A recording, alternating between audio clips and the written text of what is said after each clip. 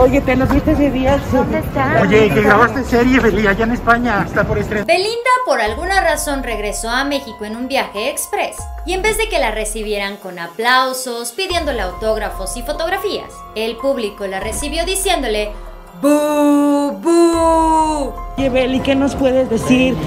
¿Qué nos puedes decir acerca de la opinión de con Cristian Nodal? Después de las declaraciones que ha hecho en su natal España, el pueblo mexicano no está muy contenta con la cantante. Belinda fue captada por distintos medios de comunicación en el aeropuerto de la Ciudad de México. Ella estaba resguardada por un grupo de escoltas, junto con su manager. Pero sí el de Cristian Nodal, que al parecer ya tiene nueva novia, has hablado con él. Los reporteros intentaron hacerle preguntas a Belinda, pero ella simplemente se bajó el gorrito que traía y evitó a toda costa dar alguna declaración. Belinda llegó a altas horas de la madrugada y por esta razón no había mucha gente en el aeropuerto, pero eso no impidió que las personas notaran que era Belinda y que los medios de comunicación ahí presentes intentaran sacarle alguna palabra. Y es que en su reciente viaje a España, la cantante pop generó un sinfín de señalamientos por parte de los mexicanos, tras haber revelado a medios de comunicación de España que ella por fin se encontraba en su verdadera casa. Esto hizo que los fanáticos, seguidores y el público en general en México se sintieran bastante con la cantante y por supuesto no tardaron en señalarla a través de redes sociales. Después de haber terminado su relación y compromiso con el cantante de regional mexicano Cristian Odal,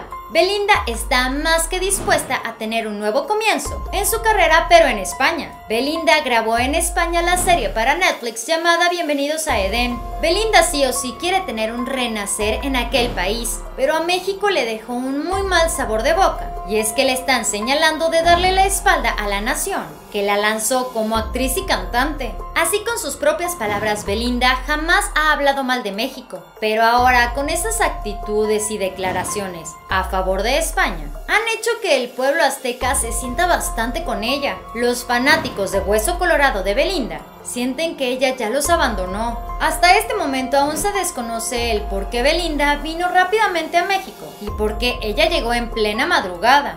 Sin embargo, varios medios de comunicación aseguran que ella tal vez regresó a nuestro país, tal vez para arreglar alguna documentación, como también para visitar a algunos familiares. Y es que recordemos que algunos medios también dicen que Belinda está dispuesta a renunciar a su nacionalidad mexicana. Así que tal vez pudo venir por su acta de nacimiento, papeles importantes, para poder hacer todo ese trámite legal y ahora sí volver a ser 100% española. Este fue el Muro de la Fama. Dale like a este video, suscríbete y síguenos en Facebook. Pero antes de que te vayas, ¿qué te parece si checas este siguiente video? Estoy segura que te va a encantar. Espero que tengas un excelente día. Nos vemos muy pronto. Bye.